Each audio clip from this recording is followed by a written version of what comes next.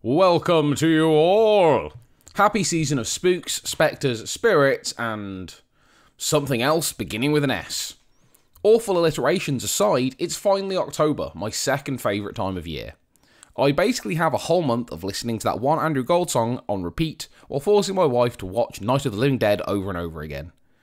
My other October activities include listening to spooky podcasts, reading Mary Shelley's Frankenstein, and trying to find a new horror game to play through so that I don't just end up completing Lone Survivor yet again. In that effort, I was keeping an eye out for any game sent our way that had even the vaguest hint of horror theming. Luckily, I didn't have to wait too long, as we got the offer of a code for a game called Third Eye, which caught my attention. Apparently, it's a psychological horror game starring a character called Koichi Komeiji from Touhou Project? Toho Project? Tauhao Project? Whatever. Without doing any research on this, afraid of getting spoilers, I jumped right on in. So, did I have a good spooky boy time? Nah. I'm Will with Cliqist. Now let's look at Third Eye.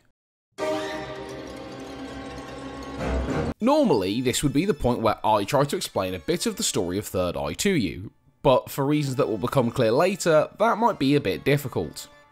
Third Eye has something of a surrealist mood throughout, which means that it's bloody difficult to actually tell what's happening. However, I will try. If you don't want spoilers for the game, I seriously, seriously suggest stopping here.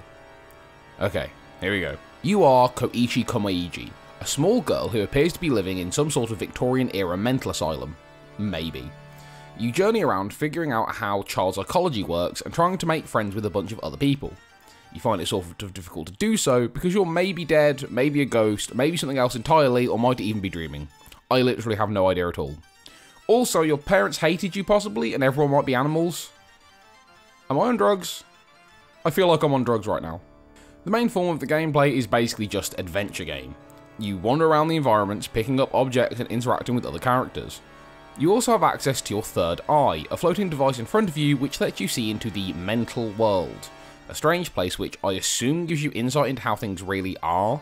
This basically means that you often have to talk to characters twice, once in the real world and once in the mental world. Oftentimes, speaking to characters numerous times is the only way to progress past certain puzzles. Okay, so right off the bat, I just want to say that this game is an audio-visual treat.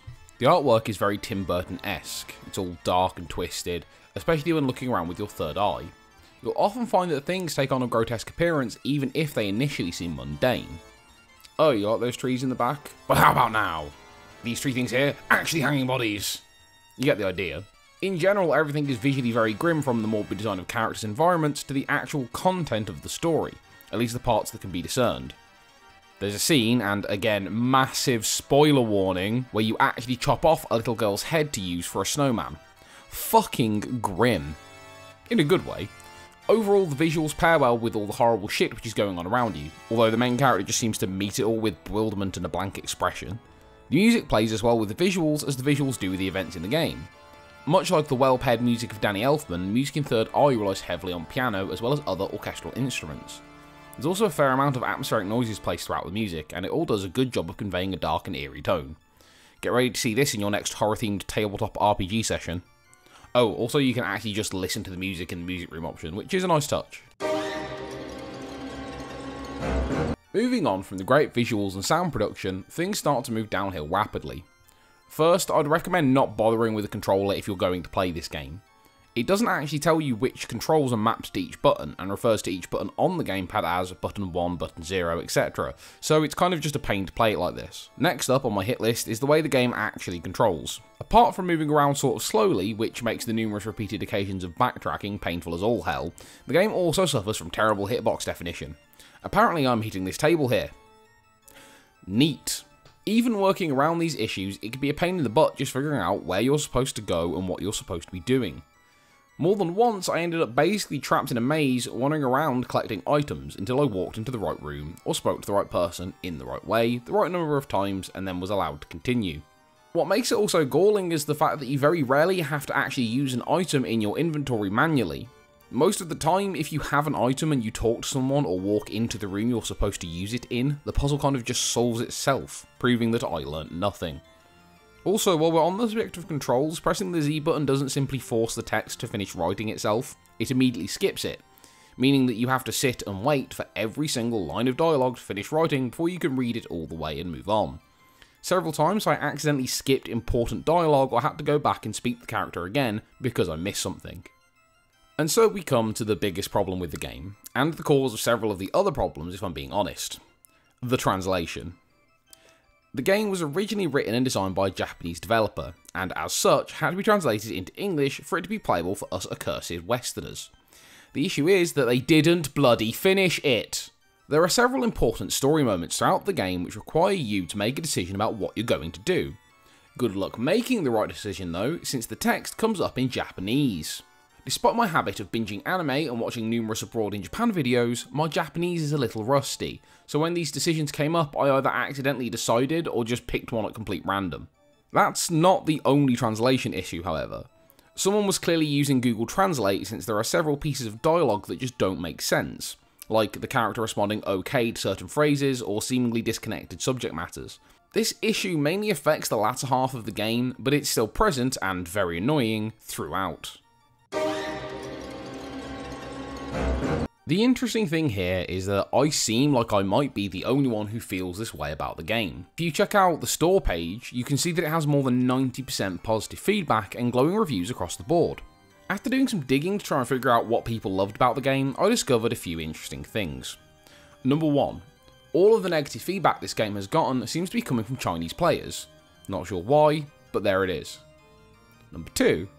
This series is based on a bullet hell shooter series which is usually more typically anime in its aesthetic. Number 3. There are several reviews here which mention what seem to be completely random unconnected words such as shrimp fries and croissant. I refuse to say it the American way, you're wrong. Wanting to dissect that first point a little, I took to Google Translate and found out that the Chinese version of the game does seem to be quite buggy. Several players reported that their keyboards wouldn't work with the game at all, and others said that the translation was pretty terrible. There was at least one or two people who did seem to agree with me that the game was confusing and not worth playing much, but there were few and far between. So that solved that mystery. From the last two points, I've come to the conclusion that this game really only works if you're already a fan of the original series. Clearly, there is a wider context which is missing here as someone who has never played a Project Touhou game or whatever they're called. The appearance of the main character might be completely different, but there's so much going on here which becomes clearer after research into the characters and their backstories. I feel like a lot of these positive reviews are from fans of the series, hence the references which someone like me will never be able to understand. Seriously though, if someone is a fan, can you explain to me about the whole shrimp fries croissant thing?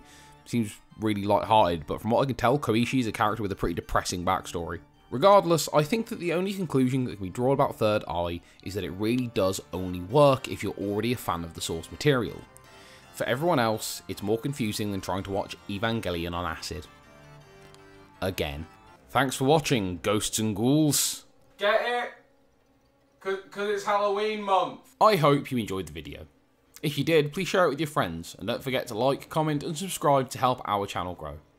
You can also check out my personal channel, where my Halloween special about the Goosebumps adventure books will go live later this month.